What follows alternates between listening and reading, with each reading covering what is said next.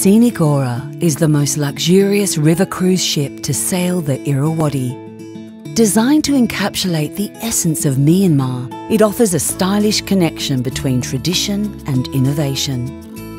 At Scenic, we believe true luxury is all inclusive and found in the thoughtful details, so you'll find everything you could want has been thought of, no matter where you are. Boasting the largest accommodation on the Irrawaddy River, Scenic Aura's modern five-star suites all feature their own balcony, along with an array of deluxe amenities to make your stay as comfortable as possible. As you sail along the Irrawaddy River, take some time to unwind and indulge on the top-level sun deck with its resort-style pool. With four onboard dining locations, you'll be spoilt for choice on Scenic Aura. All meals are included throughout your voyage, along with unlimited complimentary beverages.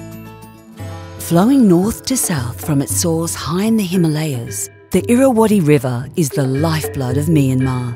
Stretching across the country toward the Indian Ocean, the river has long been a source of inspiration for travellers, artists, and poets alike. Its timeless allure captivates all who sail its waters.